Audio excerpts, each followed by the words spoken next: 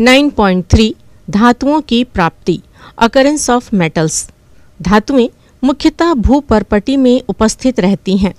कुछ धातुएँ प्रकृति में मुक्त अवस्था और कुछ संयुक्त अवस्था में पाई जाती हैं।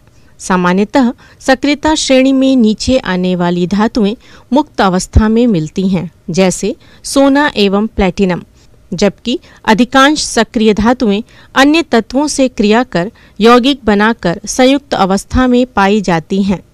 भूपरपटी में प्राकृतिक रूप से पाए जाने वाले ठोस और कार्बनिक पदार्थ, जिनका रासायनिक संगठन निश्चित होता है और इनके भौतिक गुणों का अनुमान लगाया जा सकता है, खनिज मिनरल कहलाते हैं। धातुओं का निष्कर्षण इन्हीं खनिजों से किया जाता है।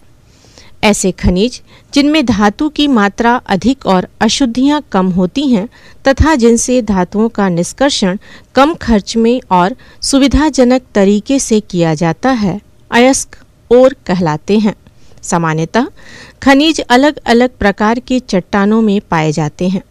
सभी अयस्क खनिज होते हैं, किंतु सभी खनिज अयस्क नहीं होते।